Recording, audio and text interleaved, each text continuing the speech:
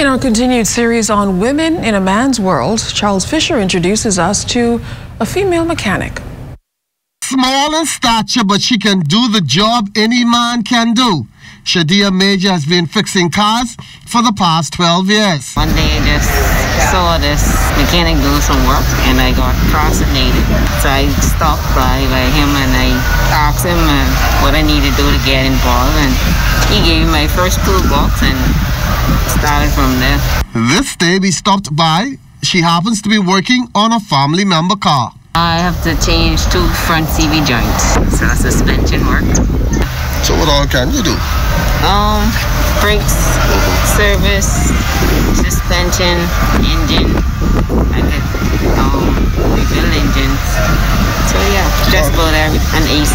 Then there comes a thing where male mechanics charge the male customers one price and the female a different price for the same job.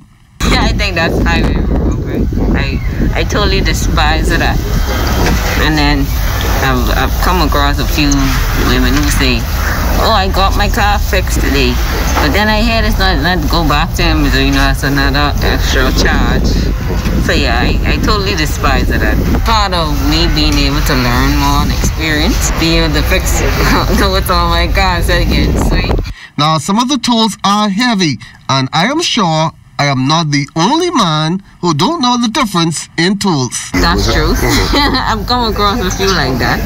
But hey, like I said, what you make it. If you choose to learn, then you will be able to pick out which tool you need, what size the nut is, without oh, just looking at it. I mean, it took me some time to learn it, but after a while, it came like a piece of cake to me.